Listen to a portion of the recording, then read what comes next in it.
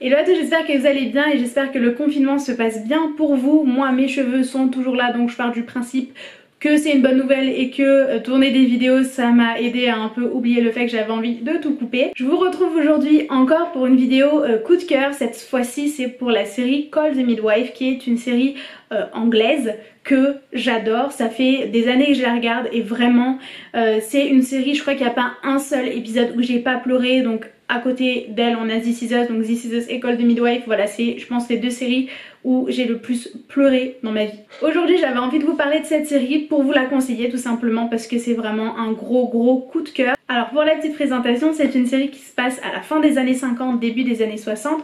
On suit un groupe de sages-femmes donc qui sont à la fois des civils et des nonnes qui vivent ensemble.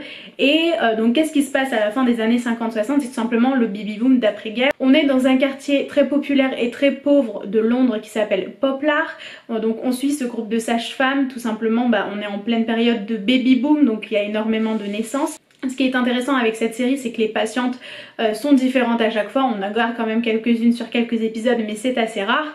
Et on a bah, tout simplement différents cas, différentes naissances. On est quand même dans une époque, donc fin 50, début 60, où la pilule contraceptive fait ses débuts, donc qui sont assez... Euh, euh, qui sont assez mitigés on va dire, les gens sont assez mitigés, ne savent pas trop quoi en penser puisqu'à l'époque de toute façon fallait faire des enfants, c'était le rôle d'un couple en fait, bref c'était assez compliqué mais voilà on dirait comme ça que ça date d'il y a très très longtemps alors qu'en soit c'est juste à côté. On a aussi bah, tout simplement euh, bah, l'homosexualité qui n'était pas légale à l'époque. On a énormément de sujets comme ça qui sont abordés. On est dans l'après-guerre donc il y a énormément de migration aussi donc on a beaucoup de euh, personnes qui viennent d'Afrique et de personnes aussi qui viennent de tout ce qui est euh, Pakistan, etc., qui sont euh, Pakistan, Inde, etc., qui sont assez mal vus.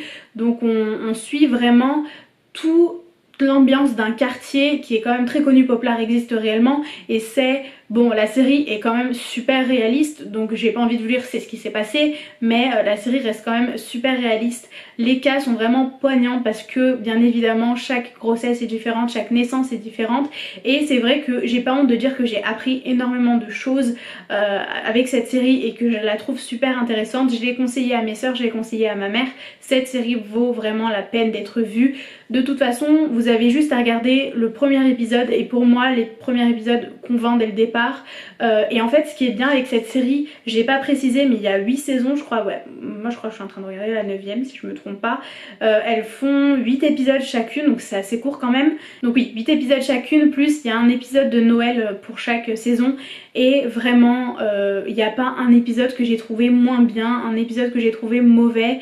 Vraiment on suit cette ambiance qui est à la fois comme je vous ai dit on suit des civils et des nonnes donc les deux sont sages-femmes, enfin les deux type de femmes sont sages-femmes. Et du coup on a le droit à deux points de vue différents. Et vraiment je trouve ça vraiment super intéressant. Les séries comme ça qui euh, qui nous apprennent des choses, qui nous éduquent et vraiment euh, voilà quoi. C'est une série qui a été vraiment super populaire en Angleterre. Euh, là comme j'ai dit on a la saison 8 ou 9 et elle a déjà été renouvelée pour deux saisons supplémentaires. La série elle est aussi disponible sur Netflix, pas les 9 saisons mais je crois les 6 ou 7 premières. De toute façon je vous préciserai tout en barre d'infos ou juste en dessous là en vidéo. Donc voilà, ne serait-ce que pour le côté éducatif et émotionnel de la série, je vous la conseille fortement et en plus de ça on suit euh, bah, la vie des personnages et c'est vrai que ça fait que la série elle est d'autant plus intéressante. Donc vraiment je vous la conseille, si vous l'avez déjà regardée, parlez-en dans les commentaires, je vous en prie. Juste préciser que vous spoilez, si jamais vous ne l'avez pas encore regardé, je vous conseille vraiment d'aller voir le premier épisode, il est disponible sur Netflix. Le nom de la série en français c'est SOS Sage-Femme. Euh, vraiment je, je sais pas quoi vous dire d'autre de plus sur cette série, moi je sais que euh, voilà elle vaut la peine, je pleure à chaque épisode. Je vous conseille pas forcément si vous êtes dépressif comme moi, ça n'a pas été la meilleure décision que j'ai prise, mais vraiment waouh quoi. J'espère vraiment que cette vidéo vous a plu, je vous fais de très très gros bisous, prenez soin de votre famille et prenez soin de vous et nous on se retrouve très très très bientôt.